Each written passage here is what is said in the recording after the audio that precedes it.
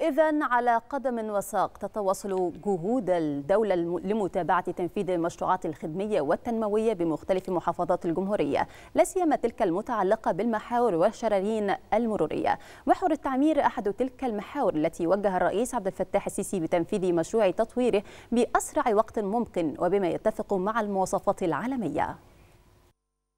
المحاور والشرايين المرورية الجديدة أداة الدولة لمواجهة أزمة الزحام والتكدس في العديد من المناطق على مستوى الجمهورية ومفتاحها لإعادة تخطيط الدولة وهي على أعتاب دخول الجمهورية الجديدة. وفي معرض الحديث عن تلك المحاور الجديدة يبرز اسم محور التعمير بالإسكندرية والذي وجه الرئيس السيسي في شهر أكتوبر الماضي بتنفيذ مشروع رفع كفاءته وتوسيعه واكتسب زخما أكبر بعدما تفقده الرئيس الرئيس السيسي بنفسه الشهر الماضي في إطار مبادرة معا نبني المستقبل. مشروع قومي يشمل مناطق شرق وغرب محافظة الإسكندرية ويتم تحت إشراف الهيئة الهندسية للقوات المسلحة ويهدف لتوسيع محور التعمير ليصبح تسع حارات في كل اتجاه بدلا من ثلاث حارات فقط. فالمحور يبلغ طوله 35 كيلو متر ويمتد من تقاطعه مع طريق القاهرة الإسكندرية الصحراوي حتى طريق سيدي تكرير المطار.